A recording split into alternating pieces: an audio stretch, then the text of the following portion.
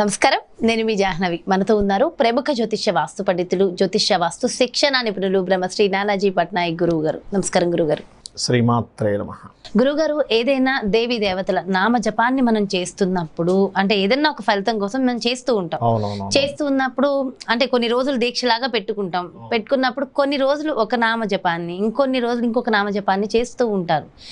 చేస్తారు. ఇప్పుడు ఓం నమ శివాయ మహామంత్రం ఉంది. అది చేసుకుంటూనే మరి మళ్ళీ ఓం నమో నారాయణాయ అంటూ ఉంటారు కొంతమంది. ఓం నమ శివాయ అని నమో నారాయణ అన్నప్పుడు చాలా మందికి ఒక డౌట్ వస్తూ ఉంటుంది. ఏంటంటే అయ్యో నేను నమో నారాయణ అన్నాను అంటే శివుడు ఏమన్నా కోప్పడతాడా నా మీద? అమ్మవారు ఏమన్నా కోప్పడతారా? లేదంటే ఇదా పూజలు జపాలు చేస్తూనే రకరకాల అనుమానాలు. అంటే నిజంగా అలా ఉంటుందంటారా గురువు గారు మీరు అన్నట్టుగా నిజమే. ఎందుకంటే మీ క్వశ్చన్లో ఒక మంచిది ఉంది. ఎందుకంటే చాలామందికి ఇన్ ఇలా కాకుండా ఇంకో డౌట్స్ కూడా ఉన్నాయి చెప్తానండి మీకు. ఇప్పుడు ఒక వ్యక్తి ఎవరో ఏదో ఏదో నామస్మరణ చేస్తున్నారు రోజు. వాళ్ళు చుట్టాలో లేకపోతే ఎవరు ఆస్ట్రాలజరో లేకపోతే చుట్టాలో గుళ్ళో పూజారి గారు ఏదో చెప్తారు. అమ్మ మీరు రోజు ఏం చేస్తున్నారు పూజ అంటే శి- శివుడి అభిషేకం చేస్తుంటారు ఏదో చెప్తారు. చెప్పినప్పుడు మీరు రోజు ఈ యొక్క ఈ ఖడ్గమాల కూడా చదువుకోండి అన్నారు అనుకోండి. ఉదాహరణకు పూజారి గారు. లేకపోతే ఈ ఈ యొక్క విష్ణు సహస్రనామాలు కూడా చేసుకోండి. అని టైం సరిపోనప్పుడు వీళ్ళమ్మో అది మరి అది ఆపి ఇది చేస్తే ఏమైనా దోషం వస్తుందా అని కూడా భయం ఉంటుంది. అవునవును. అది కూడా ఉంటుంది అయితే ఇక్కడ ఏంటంటే ఫస్ట్ మనం తెలుసుకోవాల్సిన విషయం ఏమిటి అంటే పాయింట్ నెంబర్ వన్ ఎక్కడా కూడా ఒకటి ఆపి ఇంకొకటి చేయడం వల్ల ఈశ్వరుడు ఈశ్వరుడు అభిషేకం చేస్తున్నారు లేకపోతే ఈశ్వరుడు చేస్తున్నారు. రోజు విష్ణు సహస్రనామాలు చేసుకుని ఎవరో చెప్పారు. వెంటనే విష్ణు సహస్రనామాలు మొదలుపెట్టి ఈశ్వరుడు దాపేయడం వల్ల ఈశ్వరుడికి ఏం కోపం రాదు. ఇది అర్థం చేసుకోవాలి. ఎందుకు రాదు? అంటే మూలం ఏదైతే ఉందో అమ్మవారు ఎవరైతే మూలం ఉన్నారో లలిత అమ్మవారు ఎవరైతే ఉన్నారో మూల శక్తి ఏదైతే ఉందో ఆ మూల శక్తే ఇన్ని రకాలుగా వ్యాప్తి చెందింది. అంటే ఒక విత్తనం ఒక కాండంగా మారి దాని తర్వాత దానికి కొమ్మలు వచ్చాయి రెమ్మలు వచ్చాయి పుష్పాలు వచ్చాయి పళ్ళు వచ్చాయి కానీ ఎక్కడి నుంచి వచ్చాయి అవన్నీ? విత్తనం నుంచి వచ్చాయి. ఇప్పుడు పుష్పాన్ని తీసుకున్నంత మాత్రం నన్ను తీసుకుంటావా? పుష్పాన్ని తీసుకుంటావా కాయని ఎందుకు తీసుకొని పండే మనం ఇదేం కోప్పడదు. ఓకే అయితే ఇక్కడ మనం అర్థం చేసుకోవాల్సింది ఏంటంటే మనం ఎందుకు మారుస్తున్నాము? అభిషేకం చేసుకుంటున్న మనము విష్ణు సహస్రనామాలు ఎందుకు చేస్తున్నాము? లేదా విష్ణు సహస్రనామాలు చేస్తున్న మనము లలిత ఎందుకు మారుతున్నాము? అంటే ఇక్కడ అసలు ఎందుకు మార్చాలి? అసలు నిజంగా మార్చాల్సిన అవసరం ఉంటుందా? మార్చాలా? లేకపోతే రెండో చేయాలా? ఒకటే చేయాలా? అంటే నేను మీకు ఇక్కడ చిన్న ఉదాహరణ చెప్తాను. ఇప్పుడు ఉదాహరణకి మెడికల్ షాప్లో బోల్డ్ అనే మెడిసిన్స్ ఉంటాయి. అవును. మీకు తలనొప్పి వచ్చింది. మీ ఎదురుగా ఒక శారిడాను ఒక డోలో ఒక ఈనో ఉంది. వీటిలో ఏది తీసుకుంటారు మీరు? సరే డాన్ ఎందుకు శారిడాన్ తీసుకుంటున్నారు? తలనొప్పికి అదే మెడిసిన్ తలనొప్పికి అదే మెడిసిన్. అంతే కదా సింపుల్ లాజిక్. అలాగే భగవంతుడు ఏంటంటే ఆ మూల శక్తి ఇన్ని రకాలుగా మారింది. కమ్యూనికేషన్ సరిగ్గా లేవు అప్పుడు ఆ మూలశక్తిలో నుంచి విష్ణువు యొక్క ఆరాధన మీరు చేయాలి. ఆ విష్ణు ఆ మూలశక్తి విష్ణు రూపంలో ఉంది ఆ మూలశక్తి శివుడి రూపంలో ఉంది ఆ మూలశక్తి అమ్మవారి రూపంలోనే ఉంది అదే మూలశక్తి ఇంకొక గణపతి రూపంలో ఉంది. మీకు మాటి మాటికి ఆటంకాలు కలుగుతున్నాయి. ఆటంకాలు కలుగుతున్నాయి అనేటువంటిది మీ ప్రాబ్లం. ఆటంకాలు కలుగుతున్నాయి అన్నప్పుడు మీరు చేయాల్సింది ఏమిటి? గణపతిని ఆరాధించాలంతే. అమ్మో నేను రోజు ఈశ్వరుని చేస్తున్నాను ఒక్కసారిగా నేను ఇప్పుడు ఈ నలభై రోజులు మానేసి దీక్షలా తీసుకుని గణపతిని ఆరాధిస్తే ఈశ్వరుడు ఏమైనా అనుకుంటాడేమో విష్ణువు ఏమైనా అనుకుంటాడేమో అమ్మవారు ఏమైనా అనుకుంటుందేమో ఇంకోటి ఏదో సాయిబాబా మంత్రం చేస్తూ ఉంటారు కొంతమంది. అనుకుంటారేమో నేను చాలామందిని చూశాను సాయిబాబా భక్తులు ఉంటారు. అంటే ఒక భక్తులు నేను చెప్పట్లేదు కామన్గా జనరల్గా చెప్తున్నాను నేను. వారికి నేను ఉదాహరణకి జాతకం చూపించుకున్నప్పుడు అమ్మ మీకు ఇప్పుడు ఈ ఆటంకాలు కలుగుతున్నాయి కదా తల్లి గణపతిని ప్రార్థించుకోండి అంటే అమ్మో లేదండి నేను ఏదైనా సాయిబాబానే ఇంకోటి చేయను అంటూ ఉంటారు. నాకు ఎంత ఆశ్చర్యం వేస్తూ ఉంటుందంటే వాళ్ళల్లో ఉన్న భక్తికి గర్వంగా ఉంటుంది. అబ్బా నిజమే సాయిబాబా అంటే ఎంత భక్తి వాళ్ళకి అనిపిస్తుంది. కానీ ఇదేంటి వీళ్ళు ఇంత భయపడతారు ఎందుకు అనిపిస్తుంది? అదే మూల శక్తి ఏదైతే ఉందో భగవత్ స్వరూపంలో ఒక అంశగా సాయిబాబాని పంపించింది భూమి మీదకి. అవును. సాయిబాబా భగవత్ అంశ. నలుగురు ఎలా బ్రతకాలి ఎలా ఉండాలి ఎలా కర్మలు తొలగించుకోవాలి మనం ఎలా సాత్వికంగా ఉండాలనేటువంటి స్వభావం చెప్పేది సాయిబాబా. గురుత్వ గురుత్వం అంటే మనకి ఎప్పుడైనా సరే గురుత్వ సంబంధించినటువంటి దోషాలు ఉన్నాయి ఉదాహరణకి. అప్పుడు సాయిబాబాని ప్రార్థించాలి. గురువు పాడైపోయాడు మీకు జన్మజాతకంలో. సాయిబాబాని ప్రార్థించడం ద్వారా లేదా దక్షిణామూర్తి ఆరాధన చేయడం ద్వారా దత్తాత్రేయుడు ఆరాధన చేయడం ద్వారా మీకు ఆ ఎనర్జీ పెరుగుతుంది. అంటే ఉదాహరణ ఇంకా సింపుల్ ఉదాహరణ చెప్పాలంటే సమ్ విటమిన్స్ తగ్గాయి సి విటమిన్ తగ్గిందని చెప్పి డాక్టర్ చెప్పాడు మీకు. మీరు అన్నీ వేసేసుకుంటారా? సి విటమిన్దే తీసుకుంటారా? C vitamin same as it is మీకు గురువు పాడయ్యాడు. గురువు యొక్క అనుగ్రహం సరిగ్గా లేదు. జూపిటర్ ఆస్పెక్ట్ సరిగ్గా లేవు. దానివల్ల పేరు ప్రఖ్యాతలు రావట్లేదు. లేకపోతే విద్య మీద ఆసక్తి కలగట్లేదు. మంచి మాస్టర్స్ దొరకట్లేదు. మంచి గైడింగ్స్ దొరకట్లేదు. తప్పుడు గైడింగ్స్ అవుతున్నాయి లైఫ్లో. దెన్ మీరు తీసుకోవాల్సిన ఎనర్జీ ఈజ్ గురుత్వ ఎనర్జీ అంటే ఇక్కడ మనం అర్థం చేసుకోవాల్సిన విషయం ఏంటంటే దేవతలందరూ ఒకటే.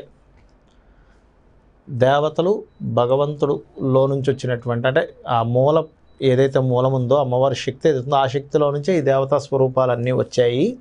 ఇందులో ఒకరిని ప్రార్థించి ఇంకోరికి ప్రార్థించకపోవడం వల్ల ఎవరికీ కూడా కోపాలు ద్వేషాలు కక్షలు ఏమి ఉండవు. అలా కక్షలు కోపాలు ద్వేషాలు ఉండేటట్టయితే అది భగవత్ స్వరూపం అవ్వదు ఫస్ట్. మనం వాళ్ళు మనుషులు కాదు కదా మనకంటే ఉంటాయి. నన్ను పిలిచి పిలవలేదు పక్కింటోని పిలిచాడు ఆయన పార్టీకి నన్ను పలకరించలేదు ఆయనను పలకరించాడు ఇవన్నీ మనకుంటాయి. దేవతా స్వరూపానికి ఉంటే దేవత ఎందుకు అవుతుంది అది? కాబట్టి ఇట్స్ వెరీ క్లియర్ ప్రతి దాంట్లో ఉన్న భగవత్ మూలశక్తి ఒకటే.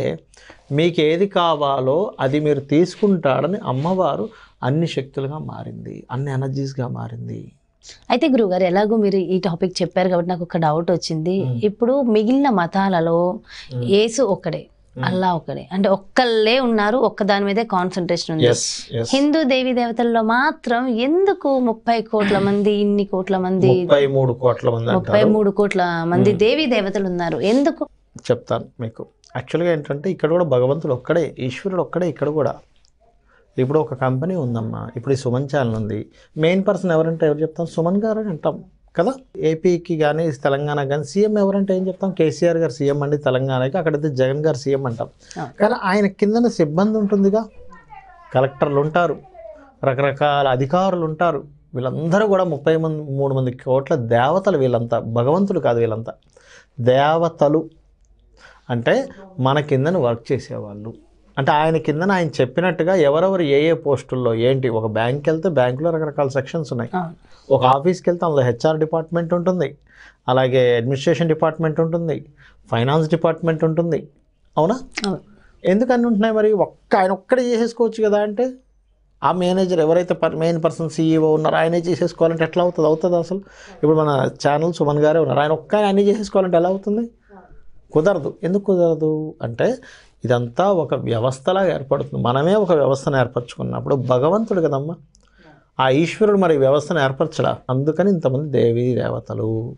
ఇది ఒక సిస్టమ్ ఉంది. వాళ్ళ ప్రతి ఒక్క దేవతకి వాళ్ళ యొక్క ఆయుధాలు ఏమిటి? వాళ్ళు చేసే వాళ్ళు వేసుకునే వస్త్రం ఏమిటి? రంగు ఏమిటి? ఎవ్రీథింగ్ ఉంటుంది. ఇలాగే ఒకసారి మనకి మన లలితా సహస్రనామాలు రచించినటువంటి అంటే లలితా సహస్రనామాలని భాష్యం రాసినటువంటి భాస్కరాచార్యులు వారు ఎవరైతే ఉన్నారో అతను ఒక శ్లోకంలో ఉంటుంది. అరవై నాలుగు కోట్ల దేవత వాళ్ళు ఉన్నట్టుగా ఆ శ్లోకంలో.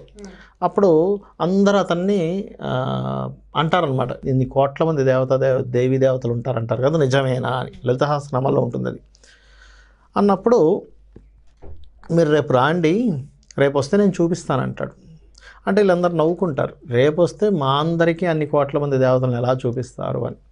అప్పుడు అతను లలితాహస్రనామాలు చేసి ఆ యొక్క మంత్ర జలాన్ని వాళ్ళ కంటికి రాస్తాడు. రాసినప్పుడు చుట్టూ అంత కోట్ల మంది దేవతలు వచ్చి వాళ్ళ పేర్లు వాళ్ళ ఆయుధాలు వాళ్ళు వేసుకునేటువంటి వస్త్రాలని ప్రతిదీ కూడా చెప్పడం జరుగుతుంది. అలా ఆశ్చర్యపోయి అప్పుడప్పుడు గబుక్కున వాళ్ళందరూ వాళ్ళ గురువుగారి దగ్గరికి వెళ్ళినప్పుడు మీరు ఎవరితో మాట్లాడారు? భాస్కర్ రాయల వారంటే సాక్షాత్ అమ్మవారి స్వరూపం. అమ్మవారే వచ్చి నువ్వు భాష్యం రాయమని అడుగుతుంది. అడిగినప్పుడు అతను ఏమంటాడంటే అమ్మ నేను రుణగ్రస్తుణ్ణి. రుణం ఉన్నవాడు భాష్యం రాయకూడదు. అంటే అప్పుడు ఆవిడ ఏం చేస్తుందంటే లలిత అమ్మవారు ఇమ్మీడియట్లీ అతను అప్పు తీర్చేసి అక్కడ పత్రాలు పెడుతుంది. ఎప్పుడు రాయి నువ్వు. అంతటి గొప్పవాడు. భాస్కర రాయలు వారు కనుక పిలిస్తే సూర్యుడు వచ్చాడు. ఎదురుగా వచ్చి ఈ నది ప్రవాహాన్ని తప్పించు అంటే ఎందుకు ఈ నది ప్రవాహాన్ని తప్పించాలంటే నీకు అదంతా అనవసరం నువ్వు తప్పిస్తావా తప్పించావు నదిని మారుస్తావా మార్చవా? అంత గొప్పవాడు. అంటే ఈ విషయం ఇప్పుడు ఎందుకు వచ్చిందంటే అన్ని కోట్ల మంది దేవీ దేవతలు ఉన్నారా అని చెప్పి డౌట్ అప్పట్లో వచ్చినప్పుడు ఆయన చూపించాడు. ఇదంతా ఒక వ్యవస్థ అనుకోండి కాసేపు. మరి ఒక్కొక్క దానికి ఒక్కో సెక్షన్కి ఉండాలి అందుకని మన సనాతన ధర్మంలో ఈ యొక్క సిస్టమ్ అనేటువంటిది ఉంది అని పర్ఫెక్ట్గా ఉంది. మ్మ్. అసలు మరి మూలం అసలు దేవత ఎవరు? అసలు అమ్మవారే శక్తి. మరి శివుడు నారాయణుడు? శివుడిగా శక్తిగా రూపాంతరం చెందింది. రూ నారాయణ అంటే మళ్ళీ అదే శక్తి విష్ణుమూర్తిగా వచ్చింది. ఇప్పుడు అలా కాదమ్మా. ఇప్పుడు ఒకే ఇనప ముక్కతో మనం అన్ని రకాలు తయారు చేస్తున్నాంగా. ఒకే ఇనప ముక్కతో అదే చక్రం తయారు చేస్తున్నాం. అదే ఇనప ముక్కతో ఇంజిన్ తయారు చేస్తున్నాం. అదే ఇనప ముక్కతో ఇంకో హార్న్ ఏదో తయారు చేస్తున్నాం. అవునా కదా? అలా ఏంటంటే ఒకే శక్తి ఇన్ని రకాలుగా మనకు కావాలి కాబట్టి తయారవుతుంది. ఇప్పుడు నేను సూదితోనే నేను భూమి తవ్వుతానంటే కుదురుతుందా మీకు? గుణపం కావాలి దానికి. అంతే కదా? సూదితోనే నేను కత్తిరిస్తానండి అంటే? అందుకని ఇంకొక మెటీరియల్ అదే ఐరన్తో ఇంకో మెటీరియల్ తయారైంది. ఎందుకంటే ఇలా ఉండాలి ఇది. అలా ఉంటే కుదరదు కాబట్టి అమ్మవారు ఇన్ని రకాలుగా తయారైంది మన కోసం ఆవిడ కోసం కాదు.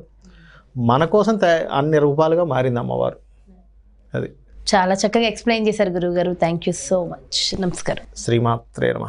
చూసారు కదండి మరి? అంటే మనం ఏ మంత్ర జపం చేస్తున్నా వేరే మంత్ర జపాన్ని కనుక మనం పఠిస్తే మరి దేవుడు ఏమైనా ఆగ్రహిస్తాడా? మరి ఎందుకు హిందూ దేవుళ్ళకి ముప్పై మూడు కోట్ల దేవి దేవతలు ఉన్నారు ఇలాంటి ఎన్నో రకాల అంశాలకి గురువుగారు ఎంతో చక్కటి సమాధానాలు అందించారు కదా. అదే విధంగా మీరు మీ యొక్క పర్సనల్ జాతకానికి సంబంధించి కానీ మీ ఇంటి వ్యాపార వాస్తుకు సంబంధించి కానీ గురువు గారితో మీకు పర్సనల్గా డీటెయిల్స్ చెక్ చేయించుకోవాలి గురువు గారి అపాయింట్మెంట్ కావాలి అంటే కింద స్క్రోల్ అవుతున్న నెంబర్స్కి మీరు కాంటాక్ట్ అయితే వారికి సంబంధించి పూర్తి డీటెయిల్స్ తెలియజేస్తారు. నమస్కారం.